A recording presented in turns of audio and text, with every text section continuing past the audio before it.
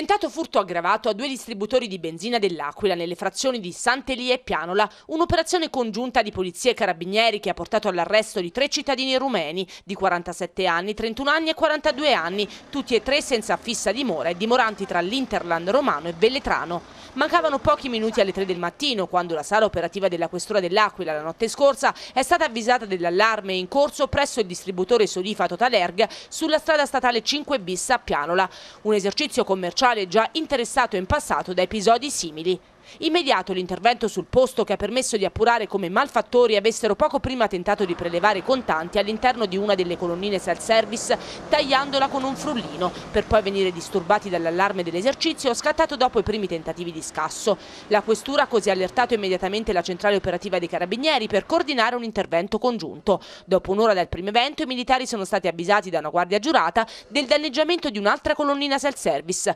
questa volta sempre del distributore Totalerg ma quello sul sulla statale 17 in località Sant'Elia.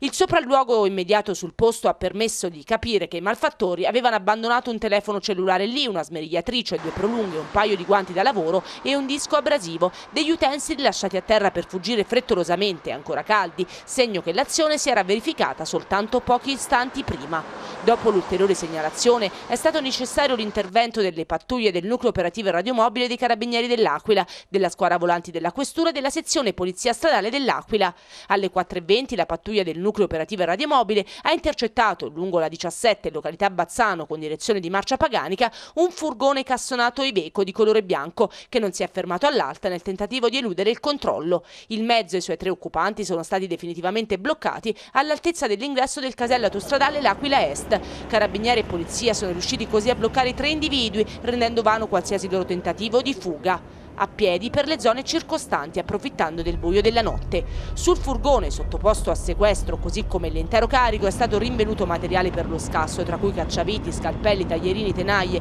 dischi flex per il taglio del ferro, un'ascia, un seghetto in ferro, del nastro biadesivo, guanti e torce. Guardando poi i filmati dei sistemi di videosorveglianza dei due esercizi commerciali, i carabinieri e la polizia hanno raccolto elementi che hanno individuato chiaramente le responsabilità di tutti e tre i rumeni in merito ad entrambi i fatti.